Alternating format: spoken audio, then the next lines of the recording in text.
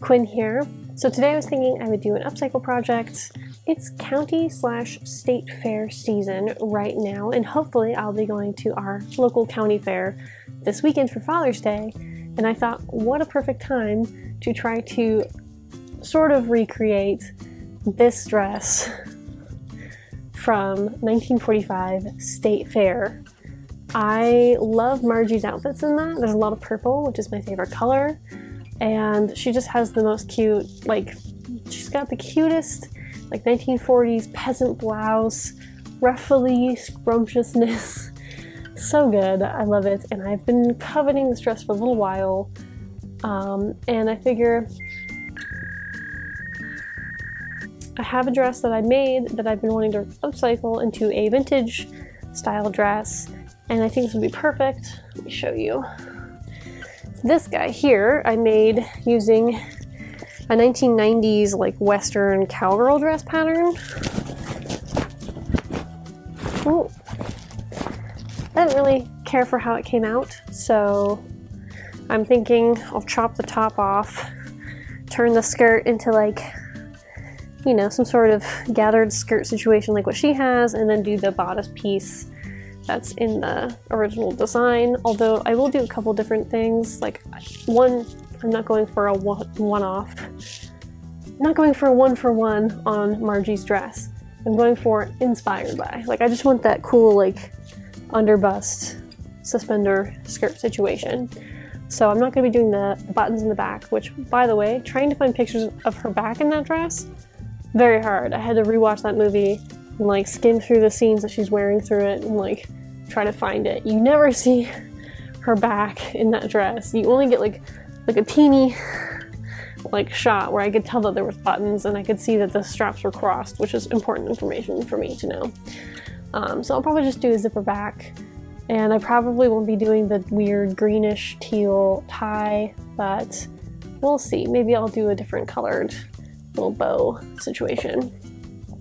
And I'm not going to be making her, her organza top, unfortunately. I have a peasant blouse that I've already made that I'll probably wear with it that I think will do just as good. We'll see. It's actually made out of the same material as this eyelet that I did the yoke out of. So I think it'll look very nice together. Um, and hopefully, if I'm lucky, this will be like a one day make.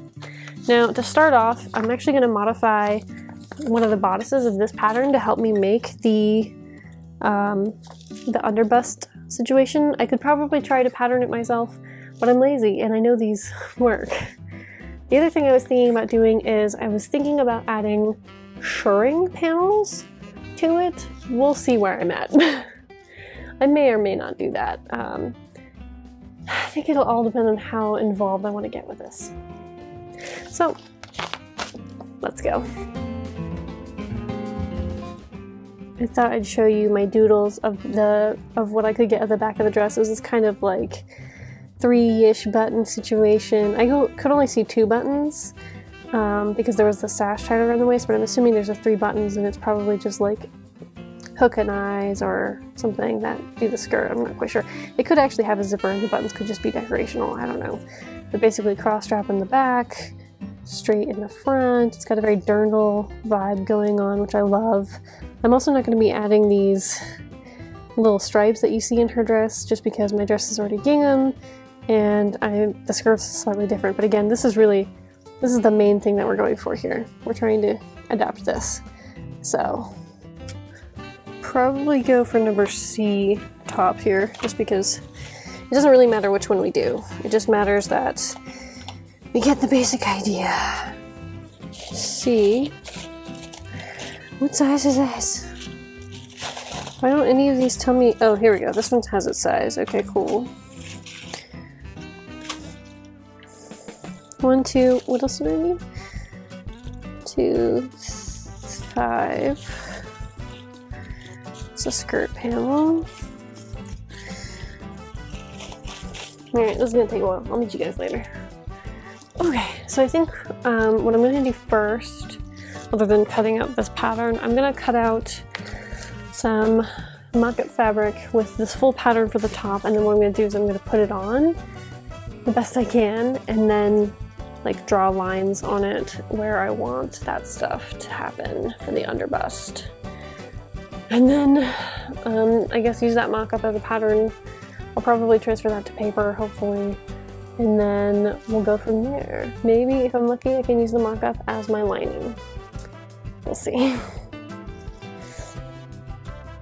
Here, I'm just prepping my mock-up fabric, which is really going to be my lining fabric. This is a thrifted bed sheet that I got in my favorite color, lavender. I'm also, while pinning these, leaving some room on the back panels because I've gained a size since the last time I used this pattern, and I'm too lazy to just size up the entire pattern. Just added some extra panels in the back, extra panels, I added some extra inches really an inch in the back to accommodate that size change. And then pinning those pieces together to sew to try on and mark out my underbust.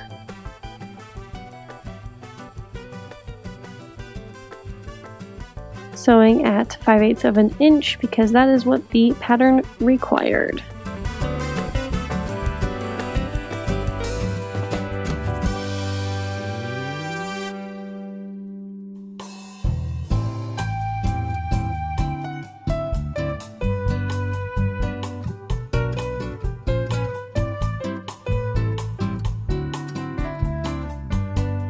And of course, I had to get a super long zipper to sew in to test this out to make sure that the fit was right on my bust, again, because I've gained a size and I wasn't sure if it would fit with just that one, technically two inches added to the back.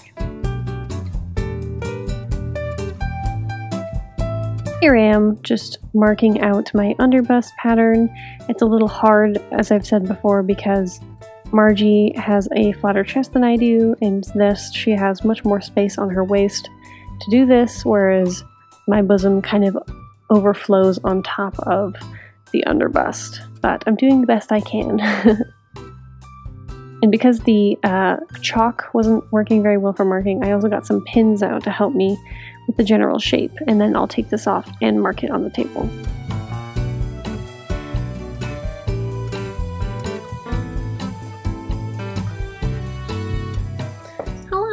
Um, so, as you saw, I did the, the old mock-up and marking thing.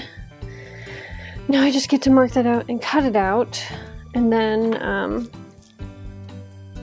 yeah. we'll see how this goes. Obviously, I have to leave space for seam allowance and all that. Let's move that tentacle.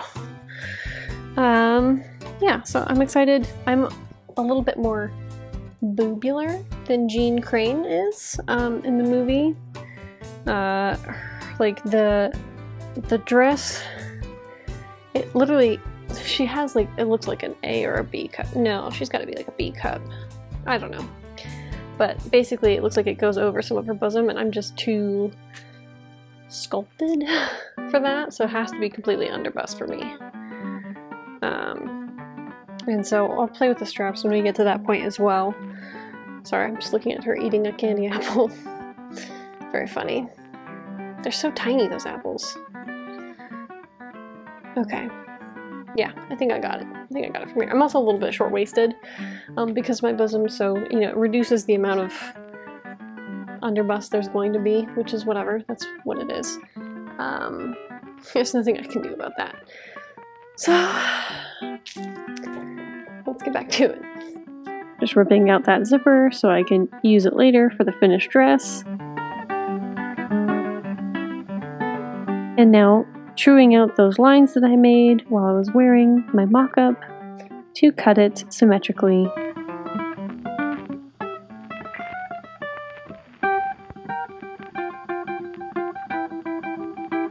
Trying it on, of course, always important to try on multiple times throughout the process.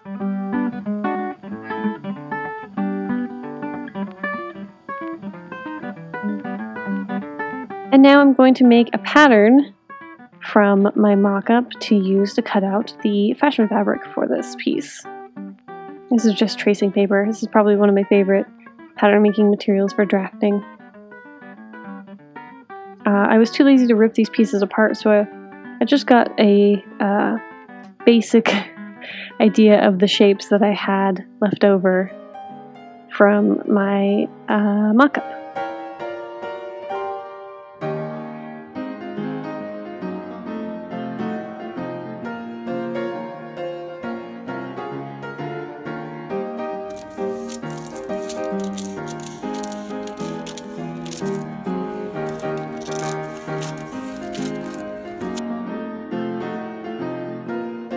Is another uh, UFO project made out of the same fabric. This is supposed to be a 1920s uh, one hour dress that I never finished and never will.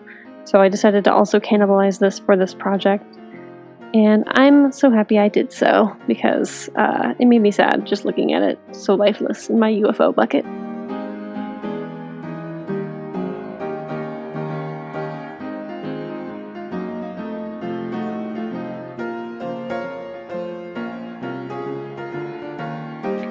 Pinning and cutting out my waistband pieces, and then I'll be sewing those together. Make sure you uh, keep an eye on which piece goes where. I got a little confused at a certain point here, but everything worked out.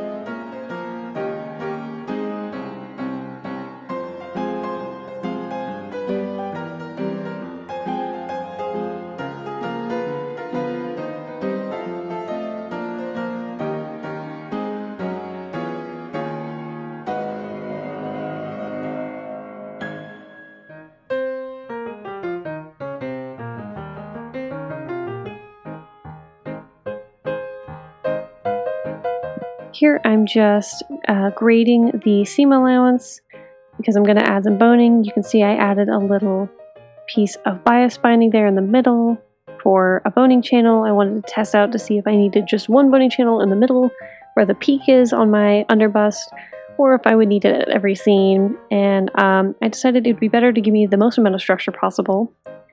Uh, and so I added that. I added bones to each seam, which was really just grading the seam allowance on one of the sides of the seam and then folding over the other piece of seam allowance and sewing straight down that to make the boning channel.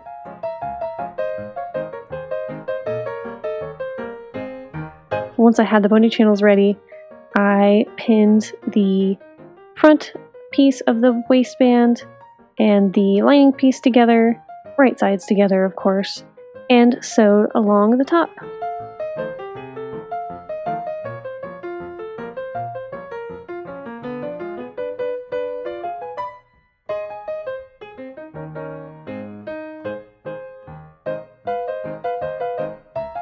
Course, I sewed at the wrong seam allowance because I had the needle position over for those kind of tighter seams that you use for hems and not the normal in the middle position.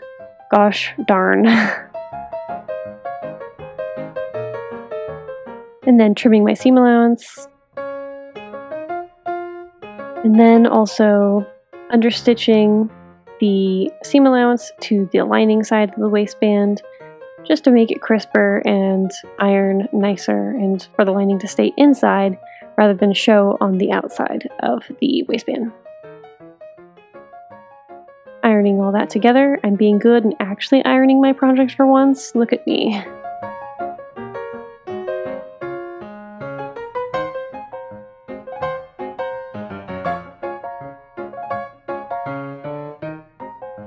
And then getting the bones cut to size and then I will be sanding them down so they don't poke holes through the edges.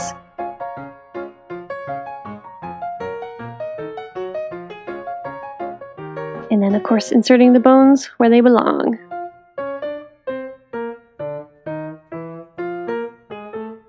And another all-important try-on at this point. Looking good.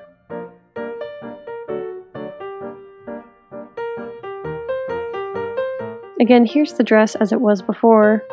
I just wanted to mark out where I needed to reduce some length off the skirt. I thought it'd be easier to do that from the top, obviously, than the bottom, since the bottom has that ruffled hem. I just marked with a safety pin and kind of held it up and looked at where it stood on my legs, because the 40s liked um, the 40s, especially during wartime, had a shorter hem.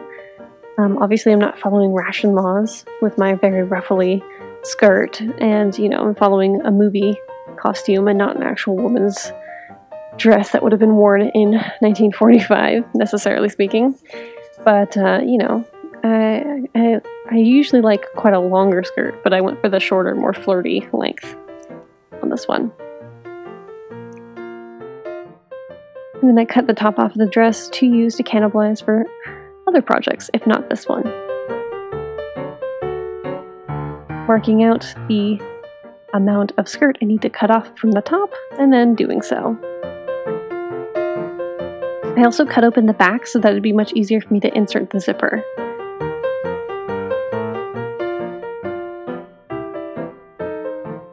And then I added gathering stitches to the top of the skirt because we need to regather it to fit the waistband. After I gathered the skirt down to fit the waistband, I'm just pinning that in place, right sides together on the fashion fabric to sew down. And then carefully easing my gathers through the machine with the waistband.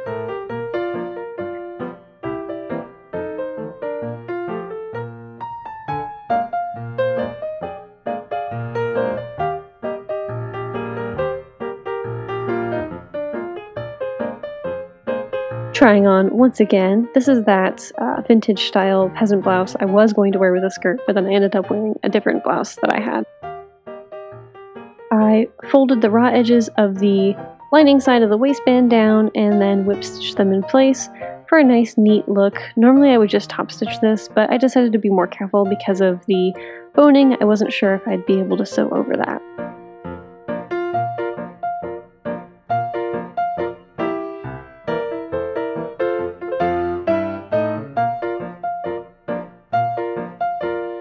Time to insert the zipper, another very important step. This zipper was really long, so I kind of cut it short at a certain point. Um, you're kind of supposed to zigzag over the end when you shorten a zipper like this. I just did a backstitch a couple times and then um, left it in there instead of cutting it, just in case. You never know what might happen in the future.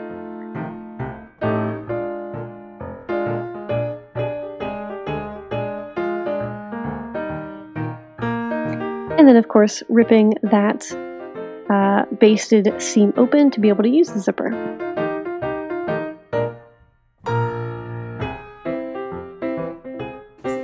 Here I'm using more bedsheet parts. This is the folded hem part of the top to make the straps, um, you know, reduce, reuse, recycle.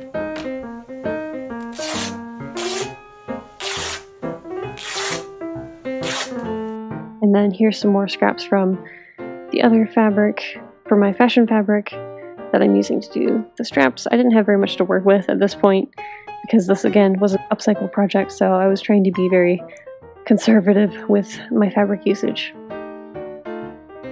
I sewed both shoulder straps and on the long sides and then trimmed down before turning them inside out and top stitching them for a nice crisp finish. Before I could top stitch them, obviously, I have to iron them. Again, look at me being good and doing what I'm supposed to be doing. Ironing, wow. After ironing, I just flipped the raw edges of the short ends of my straps inward and then top stitch down to encase the raw edges inside the straps. And then I top stitched all the straps and then I spent way too long uh, pinning and trying on the skirt with the straps. And of course, I didn't get any footage of that because it was at the end of the night, the night before the fair. And um, I got excited and distracted and completely forgot to show you me doing the millions of try ons and strap adjustments and such. And then I got ready for the fair with some curlers in my hair. Just a reminder, this is the inspiration skirt. I wish there were better photos of it, but there are not. And then this is what I started with, my 90s cowgirl dress that I wasn't using and sewed very poorly in the beginning of my sewing journey.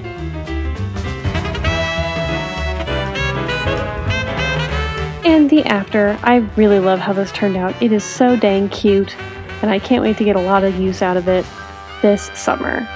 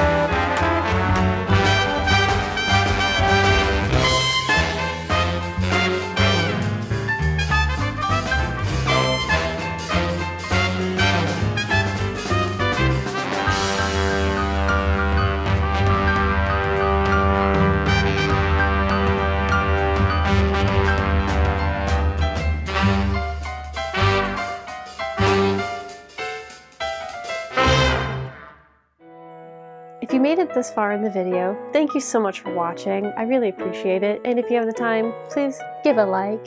And if you aren't subscribed, subscribe. It's free. It helps me out. Um, and then also leave a comment if you really want to help me out on here. Comments are much appreciated. Um, let me know if you have seen 1945 Rodgers and Hammerstein State Fair, and if you have, uh, what's your favorite song? The All Iowa song lives in my head 24 7 and it won't leave. well, let's do our wrap up, huh? I'm actually really, really impressed with how this came out and how quickly I was able to do it. This is basically a one day make. So, big win for me. Normally, I'll start something and then never finish it, or finish it three years later, or maybe a month later, or you know, what have you. So, for me to be able to upcycle a dress that I already made and wasn't wearing because I didn't like how it turned out, and turn it into something that's super cute that I will want to wear all the time, big win chef's kiss. like, I am pumped. Um, I got tons of compliments, which, you know, of course made me feel great. And thank you to all of you who gave me compliments at the county fair. I appreciate it. as awkward as I am. I highly suggest trying to make one of these dresses yourself. Um, if you make it for yourself, you could probably get away with, um, instead of doing the ruffle hem, if you don't want to bother with that, because um, you didn't see me make that, sorry. Just a basic ruffle hem situation. But you could get away doing this skirt with like a three yard skirt, dirndl style with the gathers, with a bodice like this if you do something relatively similar. Also, sorry, I totally forgot to show you me sewing the straps on, but it was a lot of me pinning the straps, trying it on, trying to maneuver all of them, you know, in a way that they fit and didn't like be weird. So that took like a good 20 to 30 minutes of me just playing with straps and then finally sewing them down. Simple stuff, I guess. um, yeah, I don't know. I'm, I'm excited for summer and I'm excited for the wardrobe I'm working on. I'm trying to work on some more, think, cute vintage stuff as well as like spooky vintage stuff. So we shall see. I will probably do a video more on that.